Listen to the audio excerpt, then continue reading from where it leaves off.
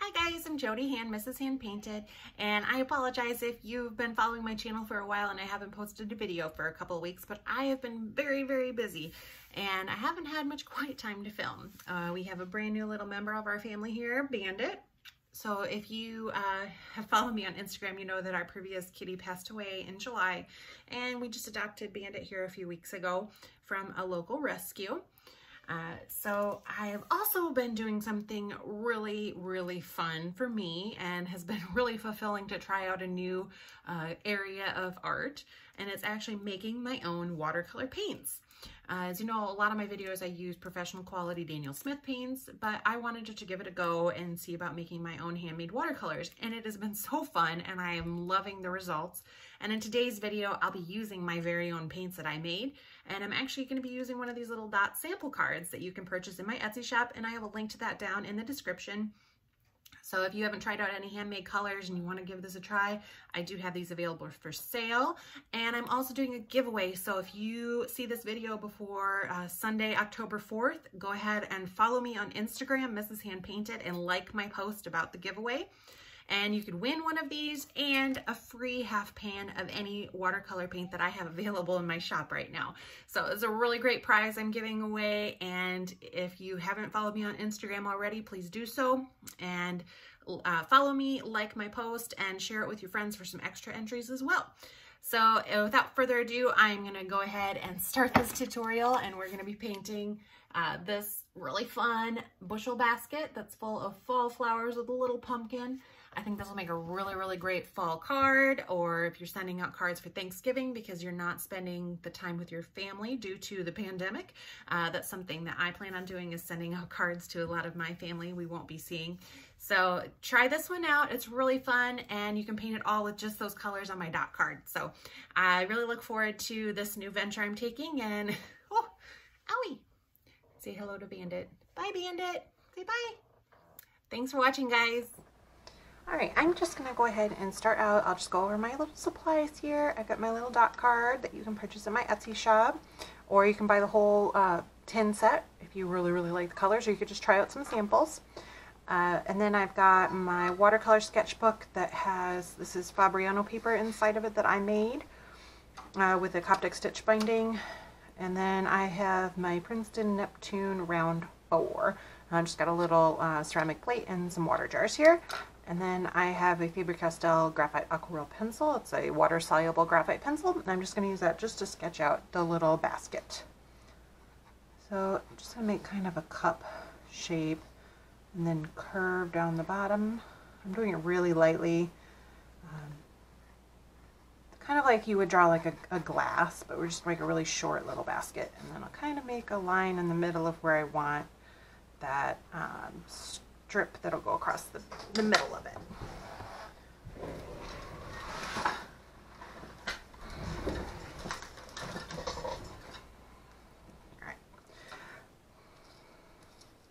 So to start, I'm going to do the pumpkin that I want to put in front, and then I'll do the flowers, and then we'll do the basket last. So the pumpkin, I'm going to use the pumpkin pie, which is a orange iron oxide color, so it's a really, really pretty burnt orange.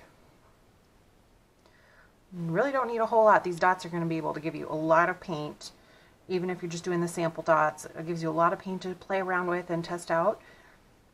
So to do my first little pumpkin, I'm going to do an oval. And then I like to leave just a little bit of a white gap in between my sections, just to kind of give it definition. Now make these little crescent shapes around the outside.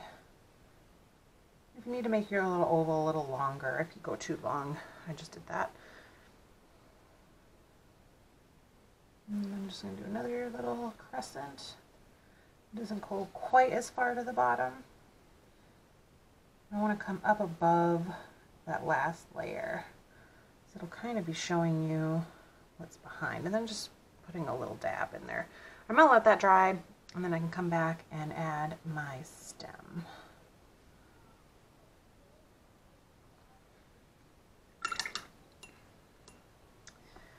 Alright, I am going to go back and forth between, I think I'll do that kind of like a red, the cranberry, the plum, and the sage together. And then we can add maybe some little uh, like straw or wheat sprigs coming out of the top here. All right, so I'm going to go in with the plum. And this one is a, a mix that I made, and it's got um, ultramarine violet and uh, red iron oxide mixed together to give me a really pretty plum that's got a little bit of opacity to it, but it's still very transparent.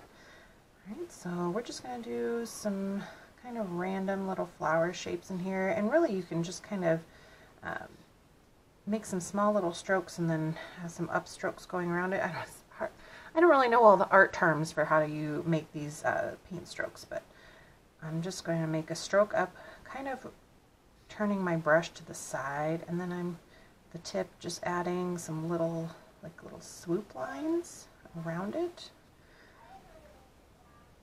I kind of want to make this a little bit rounded, and then we could have some that are just like spilling around the outside just kind of use that little sketch that we put in there as a little bit of a guide. All right, so now I'm going to get some of this cranberry color, and this is um, a single pigment, pigment red. I forget now off the top of my head what it was, but it's like a, uh, like almost like a Bordeaux color. And just do some of the same flower shapes in there and just kind of pack them in there. And then we'll add some green in between.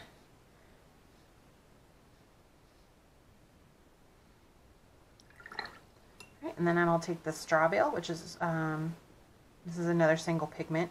This one is a yellow ochre light.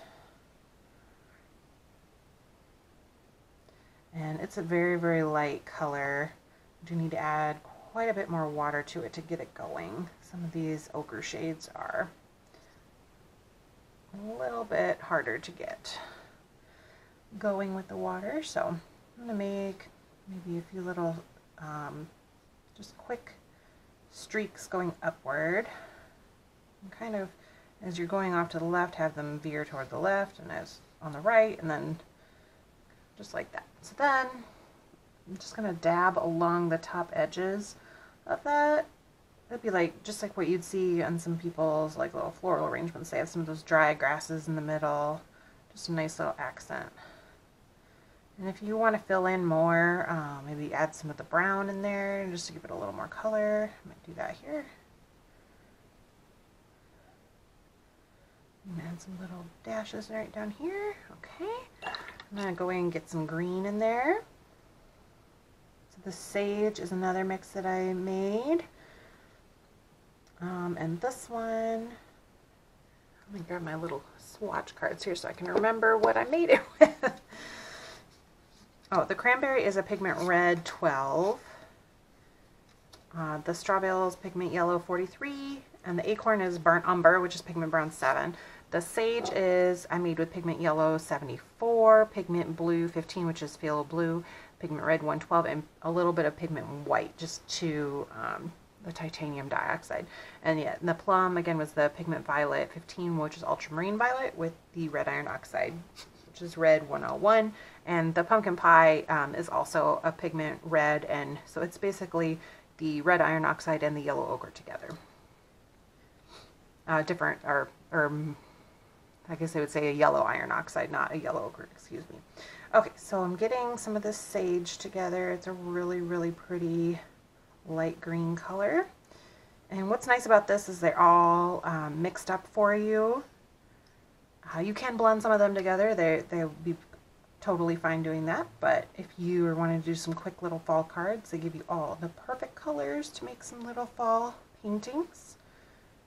And I'm just going to add in some little leaf shapes here and there just to kind of fill in all that white space. You have some coming up off the top and have some overhanging along the bottom would look nice. And then we'll fill in with brown um, and the yellow for the basket. Okay, so I also want to add just a little bit of a leaf here on top of my pumpkin. And then I'm going to get some of the acorn, which is again the burnt umber.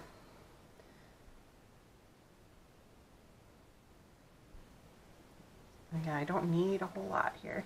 I'm going to add in, now this pumpkin is dry so I won't get any bleeding, just going to add my little stem and just kind of flare it out there. Alright, now I can go back in and uh, do my basket. So I'm going to do kind of a mixture with the straw bale and the acorn here. I'm going to take a little bit more of this straw bale here.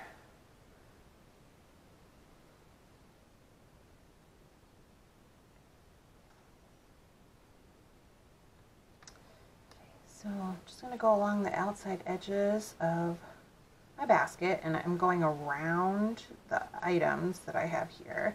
I'm going to make some sections of my basket here.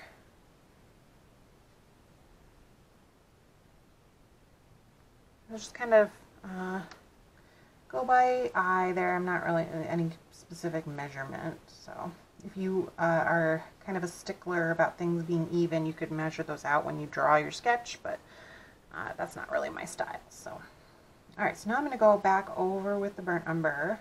And notice how I left white in there. I don't want this to be completely filled in. I want to leave some white sections. So I'm just kind of going back over the same spots that I just did the burnt umber with, or the yellow ochre with, the, the straw bale shade. Get a little bit more of that. And just very lightly with the tip of my brush, I'm just adding some little streaks in there. But I want mainly, I want that yellow to show through. And I'm still doing that when it's wet, so it's just bleeding in together really nicely. And just add some little stripes just to make that pop. You can even take a little bit of that brown and just kind of highlight your sections of your pumpkin too a little bit if you want, just to give that a little more interest. Fact, I'm going to go back over my pumpkin and add a few little lines coming down just to give it a little more dimension. And then I'm going to go back in uh, and fill in a little bit more of this white area. So uh, any places that you have some really white openings, you can add some of that plum or the cranberry back in, just kind of dabbing it in. Uh, it's, not a super detailed up close painting, so you would, when you're actually looking at it from afar, you would just see the colors. You, you would see some larger flower shapes, but you'd mostly see just the, the color in there. I'm just going to dab some of that in there just to fill in. You can add a little bit more of our sage green. And I have an incoming kitten. Hi, buddy. Look? Okay, and I'm going to just fill in a little bit more of that white. Hunter, are you trying to uh, video bomb here?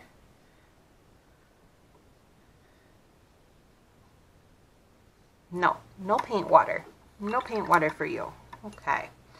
Alright guys, uh, that is all I think. You know what? Before I stop, I want to add a little bit more brown. So I'm just going to do a little bit more diluted here. I'm just going to add in a few little thin strokes hold this kitty cat out of the way here. Just to kind of fill in and give that little straw grassies bits more dimension. And if you get too much water like I just did down here, I'm just going to kind of spread that out a little bit more. Low power. There we go, guys. That turned out really, really cute. And I think this will make a really great fall card. Oh gosh, she's hitting this and making it shake. I'm so sorry. All right. I, have been holding off doing videos for a while here because I never get any peace and quiet and everybody's always bugging me, including this new kitten. So uh, I really appreciate you bearing with me here. If it was shaking on the end of the video, I'm so sorry about that. Uh, but thank you for joining me here on YouTube. And if you haven't subscribed to my channel already, please do so. It really helps me out to hear feedback from you guys. And if you want to share your paintings with me, please do so. You can tag me on Instagram, Mrs. Hand Painted.